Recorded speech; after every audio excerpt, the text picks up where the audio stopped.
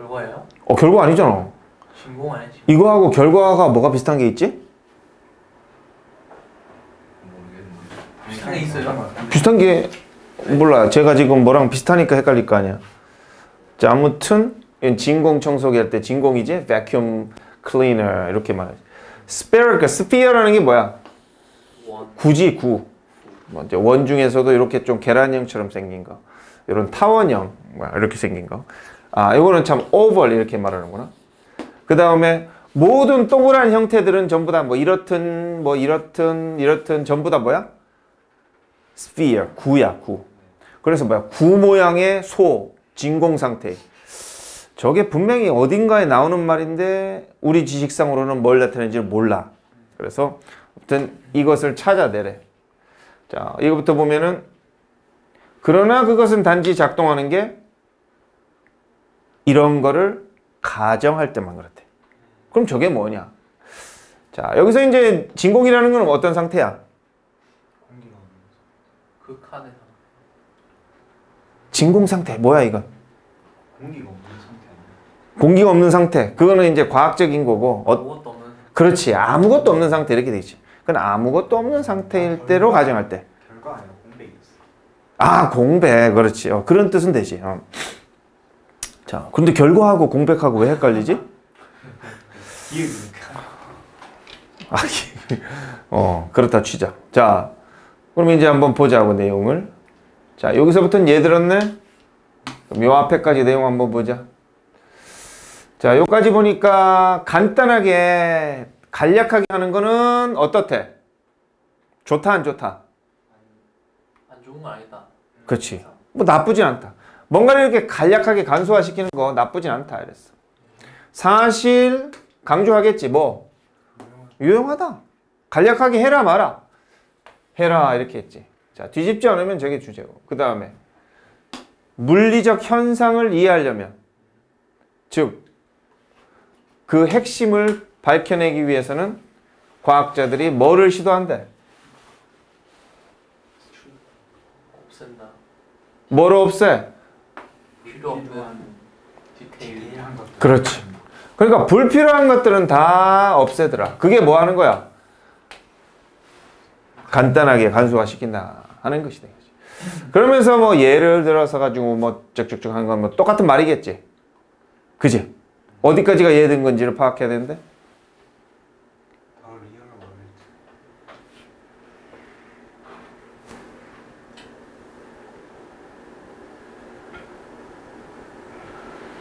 음, 저 어떤 환경을 이렇게 어떤 환경이 이상적인 환경이래? 중요한 특징만을.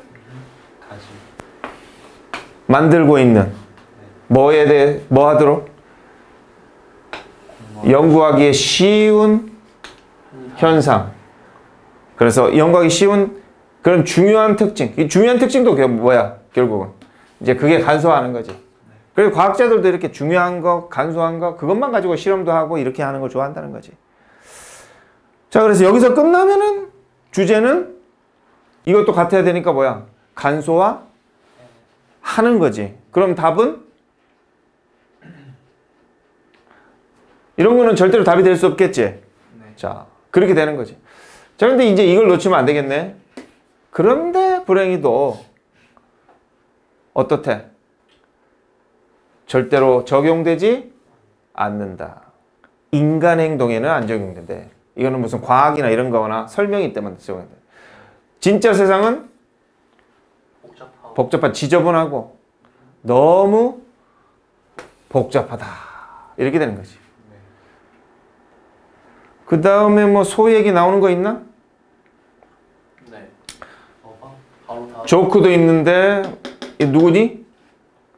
물리학자지. 피지션 하면 뭐라고 그랬지? 요거는 의사, 내과 의사. surgeon은 외과 의사. physician은 내과 의사. physicist가 바로 물리학자. 그래서 물리학자들한테 농담이 있대. 뭐?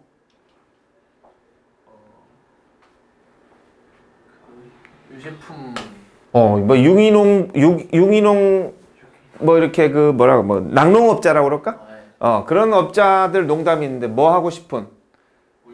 어, 우유 생산량을 늘리고, 늘리고 싶은 거야. 그래서 뭐를 추구해? 찾는다. 어, 이론 물리학자들 얘기. 아, 어떻게 하면 우유를 늘릴 수 있을까요? 그래서 그거를 연구한 다음에 이 물리학자들은 뭐라고 말해줘? 결과가 있다. 아, 해결책을 찾았습니다. 이렇게 하면 우유가 많이. 많이 나옵니다. 그랬지. 그런데 이제 그것은 이럴 때만 작용한다는데 어떨 때만 어떤 그들이 뭐라, 뭐라고 가정할 때면 이럴 때만이지. 자, 그럼 결국은 뭐야? 간소화하고 이런 거 좋지만은 뭐 현실 세계 인간 세계에는 조- 적용되지 않는다 이런 말이니까 그들이 뭐 할 때만 여기다가 뭐라고 쓰면 되겠어? 이론적으로 이론적으로 간소화할 때라고 간소화된 이론만 이론이 간소화될 때만 그렇게 적용이 된다 이렇게 되겠지.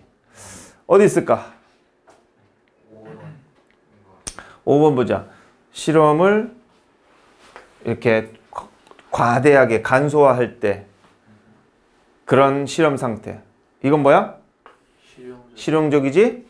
않은 거지. 저 단어는 왜 나왔지? 실세에 쓸 수 없으니까. 그러니까 이론적인 거하고 반대말을 쓴 거지. 그렇지? 아, 이론적하고 똑같은 거지 참. 이론적인 거지. 자, 그럼 저게 되겠지. 자, 오답으로 할 수 있는 거 뭐 했어? 몇 번 했어? 아예 다른 걸 했는데 이번에 2번 했대. 자, 2번은 어떻게 고쳐보자 그러면 어떻게 하면 돼? over simplify. 그치. 이걸 복잡한이 아니라 이거를 간단한 실험 조건의 상태에서 실험을 할 때만 그런 것만 가정할 때면 가능하겠지. 자, 반대답을 했네. 자, 이렇게 해서 두 개 받고